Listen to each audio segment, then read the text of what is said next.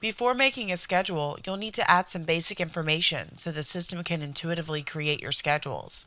Under the Setup tab, set your sports, facilities, resources, and templates.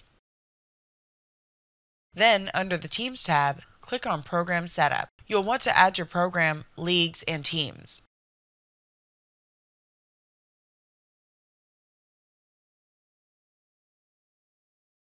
You can set up the divisions, home team fields, and blackouts, but it's not required just to create a basic schedule.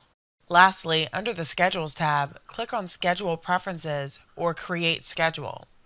If you don't save a schedule preference beforehand, you'll be asked to do so while completing the scheduling wizard. These preferences dictate your scoring. Continue making your schedule using the teams and templates you've already added and choose your game dates and times. Then choose your locations based on the facilities and resources you've entered and confirm your seeding.